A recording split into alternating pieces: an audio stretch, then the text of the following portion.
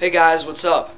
So you you already know that I love Rubik's cubes and other types of puzzles like this, but I think it's about time that we look at some of my other hobbies and you know, you can learn a little bit more about me. So, well, we'll start with the basics. The first thing that you should probably know is that I have a twin brother. Hey guys, I'm his twin brother. Uh, I don't. I'm not really into Rubik's cubes like he is, but I have uh, buckyballs and I like those, and I like to do some other stuff. All right, guys. So our next card, it's they're game used cards. So this particular card has a game used jersey on it. It's authentic. It even has. It says on the back this enclosed game worn swatch is guaranteed by Panini America Incorporated, and that's the card company that made it. So, so the one of the hobbies that we like to do as brothers is we love sports cards, mainly basketball. So we're kind of thinking about doing a lot of videos on basketball cards to put on this channel for you guys to see this could be for for collectors that already have big collections or it could be for begin or for starters who maybe want to get into it but they haven't actually started it yet or it can be for people who have a small collection but they don't really pay attention to it that much. So first of all, we've been collecting cards for 4 years but only about 2 of those years have been active the other two, the cards have just been sitting around collecting dust, and I really don't like that because we've really been neglecting the our cards. They've just been sitting around. We haven't done anything with them, but but we got them out a couple weeks ago and started sorting through them. You know, we're organizing them a little bit more to you know make the collection easier to know where everything is. So for you beginners who maybe want to get into cards, here's the basics that you might need to know. There are several types of cards. Our first card that we have, it's just a normal base card. Nothing special here. If you buy boxes or packs, you'll get this kind of thing probably 8 out of 10 times in your packs. These are worth the least out of all of the types of cards. But yeah. Next one, you'll get rookie cards. Some people also consider them base cards, but I we personally don't. Usually they'll say something like star rookies or rookie card on the front to let to signify you that it is a rookie card. Sometimes you'll have to look on the back and look to see if it says their college team. Um, yeah. So the third is going to be an insert card. This you're going to find one or two out of ten times in your packs. These are not base cards, but they're not the greatest cards either. They're worth more than base cards, but they're not necessarily worth the most out of all of them. But they are different. It'll be easy to recognize an insert because sometimes they're actually listed on the box or the pack and it it just looks a lot different than the base cards. Next one, it's similar to an insert card and usually they are inserts, but they're serial numbered. So if you see there, that means that it is printed 389 out of 899 in the world. Sometimes, if you're lucky, you'll even find cards that are 1 out of 1 or unique. Alright guys, so our next card, it's they're game used cards. So this particular card has a game used jersey on it. It's authentic.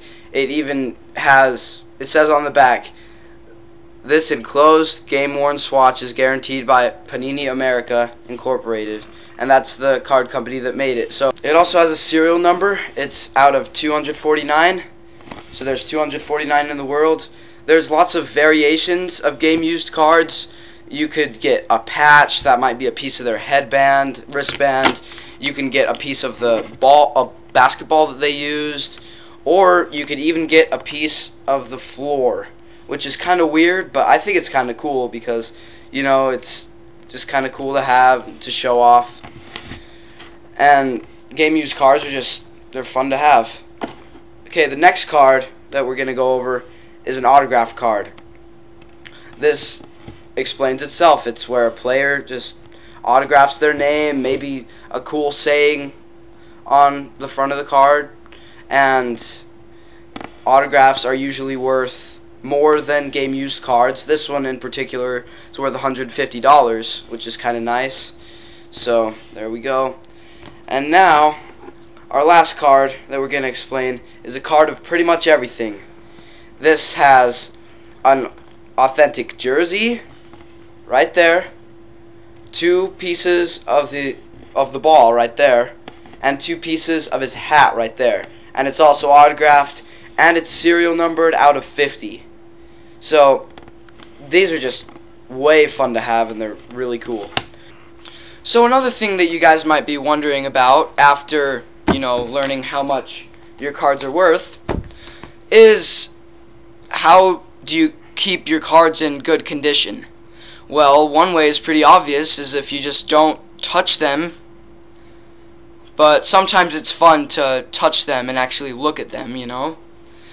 So, what we recommend is um, protective holders. We'll use these cards that we've showed you before. So, there's a lot, there's tons of different protective holders, but the first one that we're going to go over is called a penny sleeve.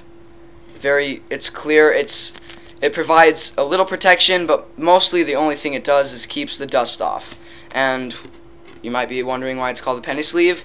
Well, maybe because it costs a penny. You can buy a hundred for a dollar at a lot at pretty much any card shop or anything like that. The second one is called a top loader.